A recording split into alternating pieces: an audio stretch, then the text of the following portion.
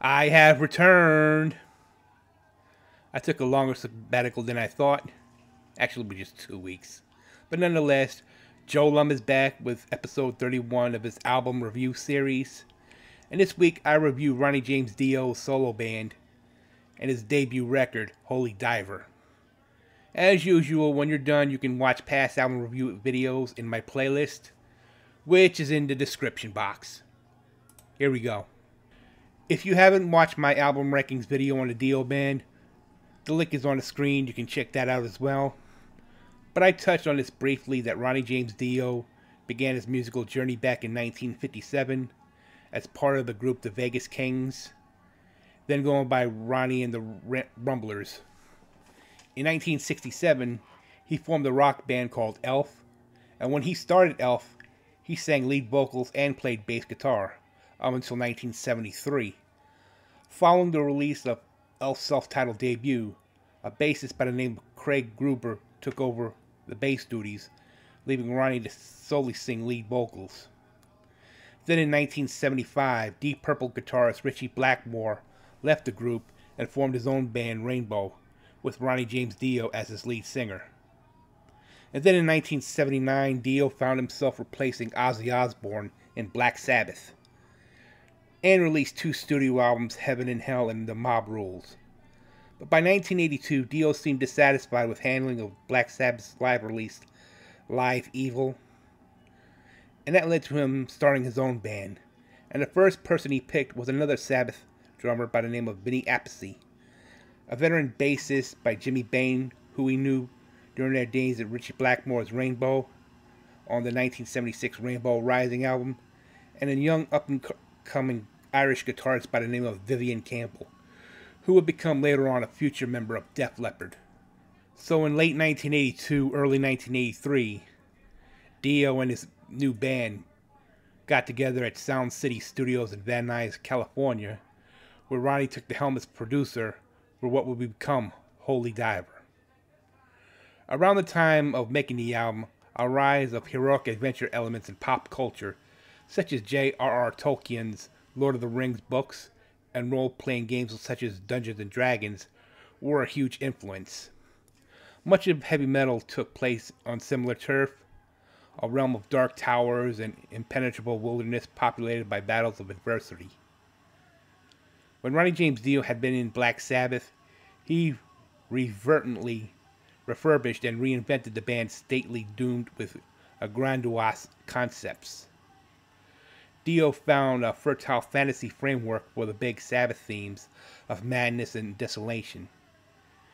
Dio himself, who had read Sir Walter Scott Arthurian Tales and sci-fi growing up, which had previously used fantasy lyrics in his early band, Elf.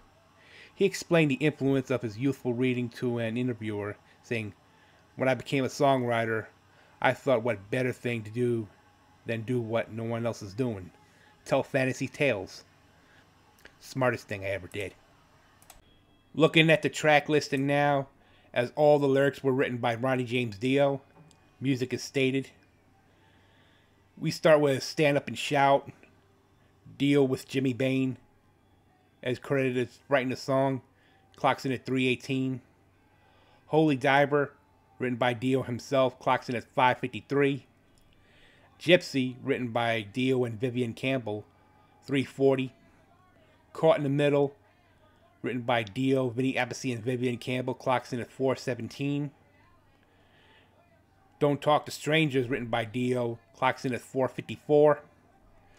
Straight Through the Heart, written by Dio and Bain, clocks in at 435. Invisible, written by Dio and Campbell, clocks in at 526.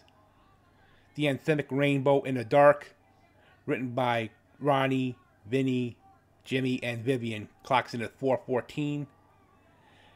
And Ronnie, Vinny, Jimmy, and Vivian also wrote Shame on the Night, the album closer, clocking in at 529. Holy Diver was released on May 25, 1983.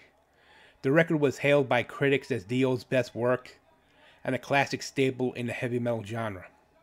It was certified gold in the US in the September of 84, then going platinum in March of 89 before ultimately going double platinum. In the UK, Holy Diver achieved silver status, which is 60,000 copies sold, by the British phonographic industry, having accomplished that goal in January of 86, at the same time as the next Dio record, The Last in Line. Now, on IGN's list of top 25 metal albums, Holy Diver is at number 8, and this statement is follows In all his bands, in all his roles, in all his musical vagabond choices, Ronnie James Dio has been fortunate enough to be associated with some of heavy metal's best Sabbath, Rainbow, and his own band. Best to represent his tenure in the genre, one must took no farther than Holy Diver. His first album with his new band also was his best. It is one of metal's best albums, and it spawned two of the greatest metal songs of the 80s Holy Diver and Rainbow in the Dark, featuring the underrated Vivian Campbell on guitar. This album showed that Dio can do it on his own. In 2017, it was ranked 16th on Rolling Stone's list of 100 greatest heavy metal albums of all time. My overall rating for this record is an 85 out of 100. Out of all the nine tracks on this album, four of them I actually liked. The title track, Stand Up and Shout, Don't Talk to Strangers, and of course the anthemic Rainbow in the Dark. So that concludes this week's Joe Lum's album review.